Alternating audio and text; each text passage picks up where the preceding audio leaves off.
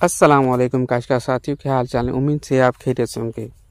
काशका साथियों, आज हम बात करेंगे एक ऐसे जदीद टेक्नोलॉजी के बारे में, जिसने ज़रात में इनकलाब बर्पा किया है। जी हाँ हम बात कर रहे हैं लेज़र लेबलिंग की, जो आजकल की जदीद ज़रात का अहम हिस्सा बन चुकी है। तो आइए जानते हैं इसके बारे में इनकी क्या फ़वाद लेज़र लेवलिंग दरअसल ज़मीन को यकसा हमवार करने का एक जदीद तरीका है, जिसमें लेज़र टेक्नोलॉजी इस्तेमाल की जाती है। इस अमल में एक मखसूस मशीन के ज़रिए ज़मीन की सतह को एक ही लेवल पर लाया जाता है।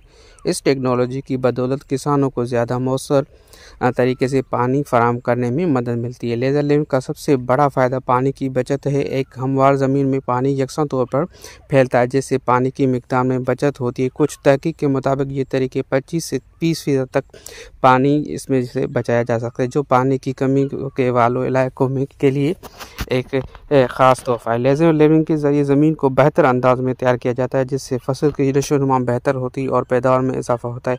हमारे ज़मीन पर पानी और खाद यकसा तौर पर तकसीम होती है और जो पौधों की नशोनुमा के लिए इंतहा मुफीद साबित होता है। लेजर लेविंग से न सिर्फ़ पानी बल्कि वक्त और पैसे की भी बचत है। हमारी ज़मीन पर खेती बाड़ी करना आसान होता है और इसमें मज़दूरों की मेहनत कम लगती है। इससे किसानों को माली फ़ायदा पहुँचता है और उनका वक्त भी बच जाता है।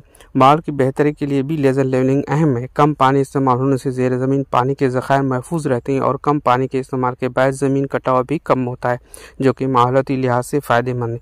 उम्मीद है कि आपको इस वीडियो में लेज़र लेवलिंग की अहमियत समझ आई होगी। अगर आपको ये वीडियो पसंद आई है तो इस चैनल को लाइक लाइक करें और शेयर करें। और अगर अभी तक आपने ये चैनल सब्सक्राइब नहीं किया हमारा तो चैनल को सब्सक्राइब भी ज़रूर कर दीजिएगा।